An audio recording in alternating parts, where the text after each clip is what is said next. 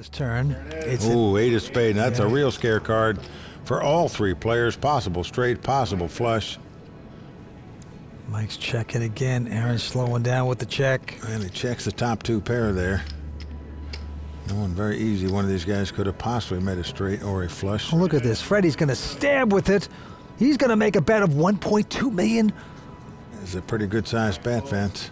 He's got Mike out. But I don't see Aaron going anywhere with top two pair. He understands that Freddy could have made a straight or a flush. But still, top two pair in a four-handed poker game, pretty good hand. He's going to make the call here. So Freddy D must catch a jack to win this pot, at least with the best hand. Let's see if he does it. No. Miserable Deuce shows up. Aaron's going to check again.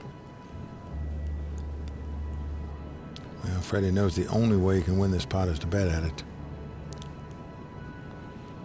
But I'm not sure that's going to win it for him, as his opponent has top two pair. I just don't see it happening.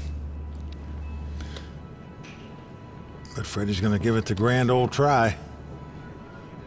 He's getting out a lot of chips here, Vince. 1.7. Wow. 1.7 million is the bet. Well, Aaron has lost every pot tonight to Freddy Deeb. Got to be shell shocked by the guy.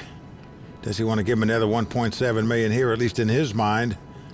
Freddy could easily have a jack queen here the way this hand was played. There's straights out there. There's flushes out there. He and look gives at up the top two pair. Yep. Freddy shows him the bluff. And Aaron gets up to go throw up, I believe. God damn, you knew I was bluffing, huh? You knew I